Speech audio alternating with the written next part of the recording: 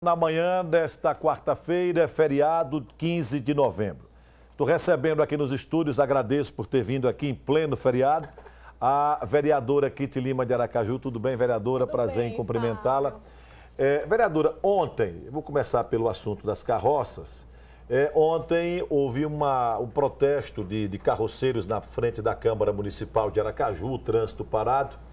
E um dado interessante, né? A gente vê as imagens aí na tela é que a senhora, como autora do projeto que trata sobre o assunto, a senhora não se escondeu, muito pelo contrário, foi lá é, conversar com eles, dialogar com eles. Enfim, o que é que diz o projeto? O projeto acaba com o trabalho dos carroceiros em Aracaju? Não, tudo bom, Fábio. Veja, foi momento importante porque eu pude dialogar com eles. Né? Eu já estava nesse planejamento. Primeiro, a gente tem que deixar claro, o projeto estava nem em pauta. Alguma coisa armada teve ali, porque a gente já estava conversando aos poucos com todos. Eles não Você têm... não estava pronto para votar? Não, não, ia votar ontem? Não, não. É porque eu não sei nem o que aconteceu, mas também não tive medo de estar lá, porque o projeto é bom, não tenho por que me esconder. Eu fiz um projeto de forma tão cuidadosa que ajudasse os animais e ajudasse eles, porque hoje eles não têm nem qualidade de vida. Se algum deles ficarem doentes e tiver que se, se encostar, não tem como. Eles não pagam, não têm a carteira assinada, não tem direito nenhum. Eles já vivem sem essa valorização. Ninguém não teve vereador que nunca se preocupou com a vida dos carroceiros. Aí agora tem gente que quer se aproveitar da situação para criar um tumulto desnecessário, porque o projeto, além de falar que é durante seis anos, ou seja, não é aprovar no dia e no outro eles não vão ter nem como se sustentar. É eles fazerem cursos, se alfabetizarem, muitos não são alfabetizados, né? Ah, vamos supor que alguns queiram ser eletricista, faz o curso, termina, vai para o mercado de trabalho quando está empregado, consegue sustentar sua família, é que sai a carroça. Vão ser seis anos. Isso é um período aí de seis anos de transição. Isso, porque como a gente teve experiência, por exemplo, Porto Alegre, que acabou já, foi, foram... É isso que eu ia perguntar para a senhora. Há, há, há, experiências de outras cidades isso. que conseguiu acabar? Na verdade, Aracaju é a única capital que tem carroça. É a única. Sabe? A, modernidade vai acabar com que as carroças não existam mais. Eu estou tentando fazer com que eles tenham direitos em lei. A gente é cuidadoso. Eu tenho, todo mundo sabe que eu tenho a bandeira da causa animal, mas se eu tenho essa sensibilidade, é óbvio que eu vou querer que eles tenham como sustentar sua família. Eu sou mãe também. Né? Então, existe toda a preocupação, foi todo um cuidado. É durante seis anos, a gente fala de alfabetização no projeto, a gente fala de curso profissionalizante para ele e as famílias. Hoje, lá no protesto, tinha criança que deveria estar na escola e estava lá na carroça protestando.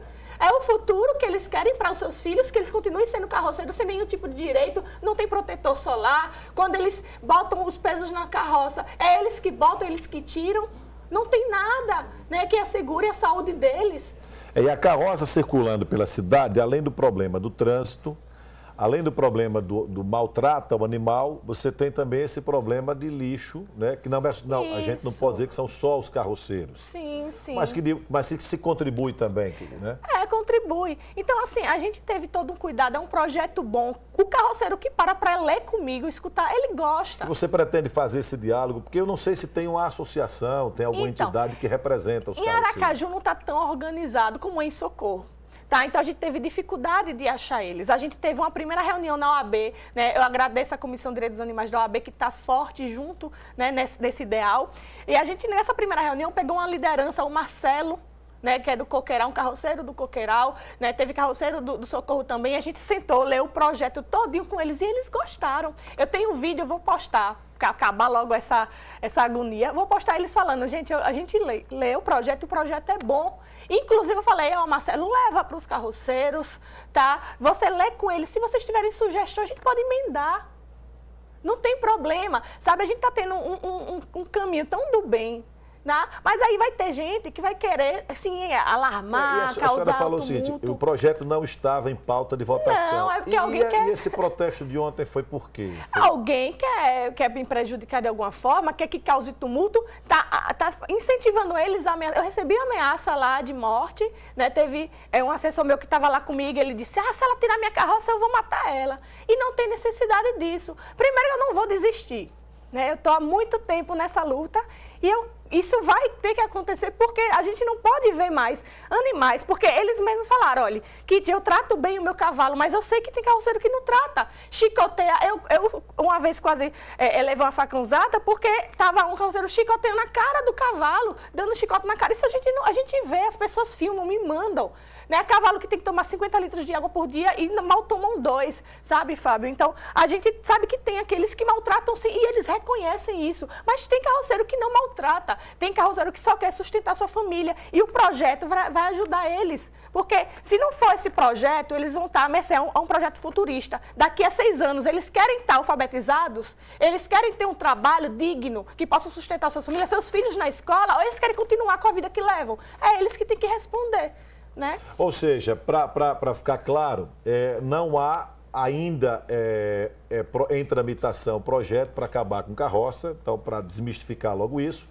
E o projeto da senhora não prevê o fim imediato das não. carroças, né? Porque é, quando a notícia sai, o cidadão que é carroceiro diz logo, meu Deus, e como é que eu vou viver? É, né? o que eles têm que saber é o seguinte, existem dois projetos diferentes. Primeiro, um que atualiza, existe uma lei do Executivo de 2011... Que é para identificar... Não, é, essa é outra, mas a de 2011 diz que as, é, o, quem tem que levar resíduo de construção civil é veículo automotor, e que tem que estar cadastrado na SEMA uma série de requisitos. As carroças hoje levam de forma ilegal. E aí vai existir fiscalização e eles vão acabar sendo multados de, de 2011, não tem nada a ver comigo. Aí eu atualizei a lei, que já existe, que é a 3052, que é do pastor Johnny, há muito tempo, que essa é de 2007, é que você fala que tem que ter a, a placa, né? E essa lei não está dizendo da, dos resíduos de construção civil. Então a gente atualizou Tá? Então, é, já é proibida, a carroça não pode estar tá levando esses resíduos e que leva tá, e leva, que está despejando em local que não pode, está causando aumento de leishmaniose, aumento de dengue, né, rato, barata. Aracaju está um lixo. E todo mundo está vendo isso. As pessoas me mandam foto, vereadora, isso aqui, aí o lixo está tão grande que está. A gente tá mostra aqui todo dia. Mostra. Então, a gente tem que acabar com isso. E o executivo disse que quer acabar com isso. Então, eu estou alertando eles que já não pode. Atualizar a legislação que trata das carroças, que é de 2007, e essa diz que tem que emplacar. E, inclusive, eu já falei, desde o início do ano, eu vou na SMTT, Aristóteles. A gente precisa emplacar essas carroças, precisa fiscalizar, porque na lei manda fiscalizar. Tem, tem avenida que eles não podem estar trafegando por conta do trânsito e trafega. Não existe. Não, má fiscalização. E aí, é, é, eu falo muito, né, meu filho? Não, não, mas eu acho que está claro, o objetivo é exatamente é. esse, é esclarecer para as pessoas. Agora, a senhora é, é uma, uma parlamentar é, que tem uma atuação muito voltada, direcionada para a causa de proteção dos animais. Como foi que a senhora viu a história da prisão, apreensão, retenção, enfim, do cavalo?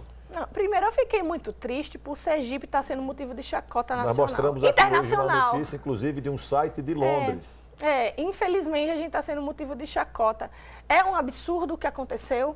A gente tem uma sociedade que trata animal como coisa, é por isso que está toda essa situação. Animais não são coisas, eles têm sentimentos como a gente tem.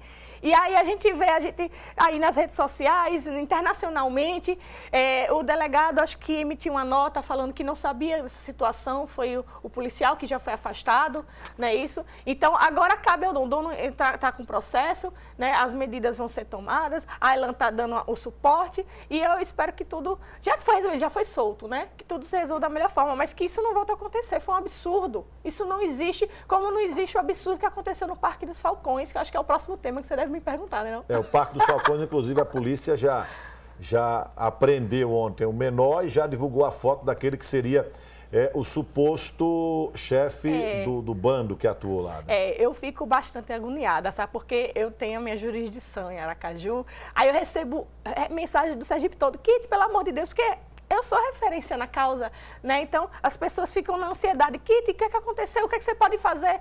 Já coloquei duas moções na Câmara, um de apelo, né, é, ao governador, ao secretário de segurança, ao João Eloy, né, uhum. que ele veja a, a, policiamento ali, um posto policial, por exemplo, precisa ter uma fiscalização. O Persílio dorme lá sozinho, é, né? O Persílio é uma figura extraordinária. Agora, deixa eu perguntar, fazer uma pergunta à senhora.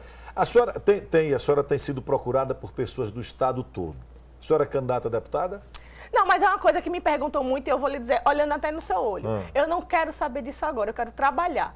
Se o partido mais na frente entender e eu achar que a população quer, o pessoal que votou em mim confia e acha que eu preciso atuar mais, possa ser que sim, mas, mas a senhora está realmente... gostando de ser vereadora? A senhora acha que é aquilo que a senhora imaginava?